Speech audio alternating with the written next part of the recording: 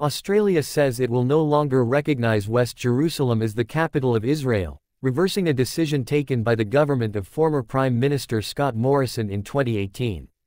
Today the government has reaffirmed Australia's previous and long-standing position that Jerusalem is a final status issue that should be resolved as part of any peace negotiations between Israel and the Palestinian people, Foreign Minister Penny Wong said in a statement.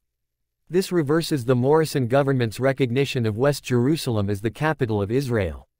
Wong reiterated that Australia's embassy would remain in Tel Aviv and that Canberra was committed to a two-state solution, in which Israel and a future Palestinian state coexist, in peace and security, within internationally recognized borders. She added, We will not support an approach that undermines this prospect. The status of Jerusalem is one of the biggest sticking points in attempts to reach a peace deal between Israel and the Palestinians. Israel regards the entire city, including the eastern sector it annexed after the 1967 Middle East War, as its capital while Palestinian officials, with broad international backing, want occupied East Jerusalem as the capital of a future state they hope to establish in the occupied West Bank and the Gaza Strip. The Palestinian Authority hailed Australia's move that will likely bring the Israeli-Palestinian issue into spotlight.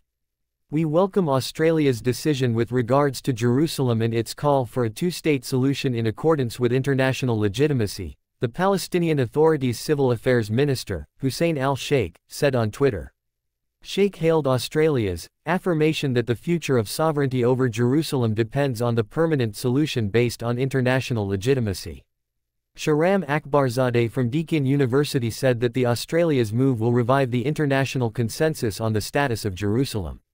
Australia was diverging from that consensus but now it's coming back to it. It will definitely bring the issue, the Palestinian-Israeli dispute and the future of a two-state solution into spotlight, he told Al Jazeera from Melbourne, adding that the international community has a big responsibility to address this long-standing problem.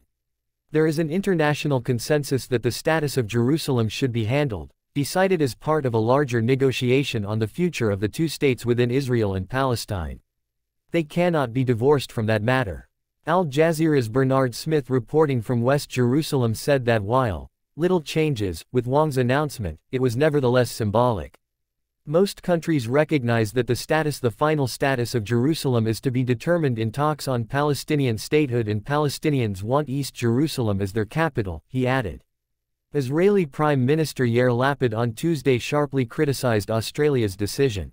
Lapid described the move as a hasty response, adding, We can only hope that the Australian government manages other matters more seriously and professionally.